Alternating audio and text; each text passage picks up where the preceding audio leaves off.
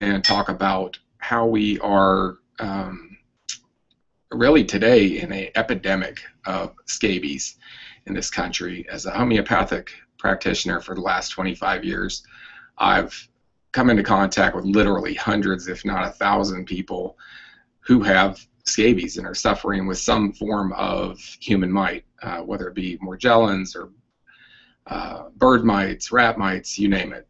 But the number one thing people want to know is, first of all, you've got the symptoms of it. You've got, you know, rash. You've got itching. Of course, that could be anything uh, from hives to mosquito bites. But there's very specific things that you should be looking for with scabies, and that is, um, first of all, in the in the folds of the skin, you should start to see uh, burrows, um, lines you know that are that are running along. They're raised and red. Um, you will see dots, uh, individual red dots, um, almost pimple-like, but they could you know be fairly small. Um, and then just the intense itching that comes along with it. Um, certainly, you can Google those images and pictures and, and, take a look for yourself and what the other symptoms are. But that, in general, is is what uh, happens with scabies. Um, I think what I'd like to share with you today is some knowledge that I've gained over uh, the last few years regarding testing yourself um, for scabies. And if you have a few simple things around the house, or if you can borrow some things from some friends of yours or a school, it may save you a lot of time. Uh, I, of course, as a homeopathic practitioner, always encourage people to go to the doctor first to get a diagnosis um, on the other hand, if it's like my dermatologist, it can take upwards of a month or more to get in to see one. And you don't have a month when you have scabies or you think you do. You really want to know as soon as possible. So there are a few things uh, that, that I can recommend. They're relatively simple. You may or may not, it may be hit or miss, may or may not have success with it. Um, but one is taking simple, simple mineral oil um, available from your drugstore um, it doesn't require a, a large amount, so you, you, don't even need a one this size. Um, you could pick some of that up. Um, if you don't have mineral oil, you could use another, uh, any other type of oil, household oil. I think mineral oil is more, um, is a little bit thinner than some household oils like uh, olive oil, but it, let's just say you could use any of those oils if you like. But mineral oil is recommended just because of the viscosity is a little bit thinner. Um, the other thing is if you have a stamp or stamp pad around, you may choose to um, uh, use this and we can do kind of an, an, ink blotter type test across the scabies lesion in order to test it. This um, it can be a fairly productive method and you'll use all of these together. Um, but first and foremost, you really need to have access to a microscope. Um, scabies, contrary to popular belief, are very small. You cannot see them with the, with the human eye. You will need a 30 to 45 um, magnification power microscope uh, or more to be able to see them, but that's generally 30 power is fine.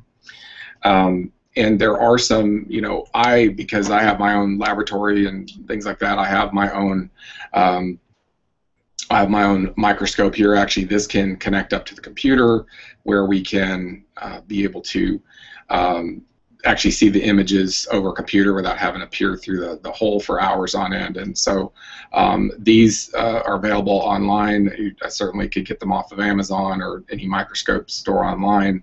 Um, you're talking minimum of 150 to you know upwards of thousands of dollars. This unit here is probably somewhere around $400 um, to, to pick up. Um, the other option available, which is a much more inexpensive option, is to be able to get a mini microscope off of, um, for instance, you know, eBay or Amazon or in, anywhere off the internet, or you may even be able to go to a local hobby store to, to pick one of these up. You just need to make sure that it is 30 to 45x or magnification. And I prefer that they be lighted. This one has a light on it. You can just peer right through and be able to take a look at the um, the situation there. Um, very quickly, I'll run you through this. You can take again a an, an ink blotter if you if you have an ink pad, it could be just as easy. Or you could take a any stamp that you have and take a Q-tip wipe it onto the stamp or onto the pad, and then rub it onto the lesion. Let it sit there and dry for a minute.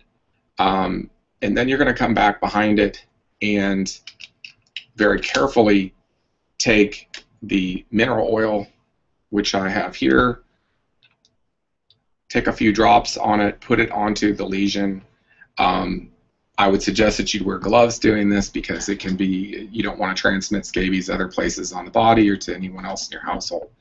And then you'll take a glass slide, uh, like I have here, and you will scrape onto the lesion and put it onto the slide. If you do have a glass slide cover, you can place that on, and then you would take this and put it under the microscope and view um, you know, what you're going to be looking for is the fecal matter left behind from scabies, as well as the uh, scabies mites themselves. You can Google these images online. I do because um, I'm in a hurry today. This is a picture of a, a scabies mite. I know it's not very clear to you. Uh, but you can see here the fecal matter that's left behind from the scabies and or that could be skin that's uh, stained and then the actual mite itself will um, show and there's I mean there's a number of different ways these can look I would recommend that you take a look on Google Images for that um, picture very quickly and, and this is not this is a hit or miss thing this is not 100% guarantee that you're going to be able to see these mites under the microscope on the other hand uh, I would suggest you keep trying if you're fairly certain you have it, that you keep trying until you find some. Um, there will be a little pain and discomfort with the, with the scraping, uh, but I think it's worth it in the long run to know you know what it ha- what you have and what you're dealing with. Um, certainly, you're welcome to leave us feedback here on a video. Again, my name is Bill Carlson. I'm the host of Talk Naturally, and we're here to help any way that we can. Uh, hope this has been helpful. Thank you.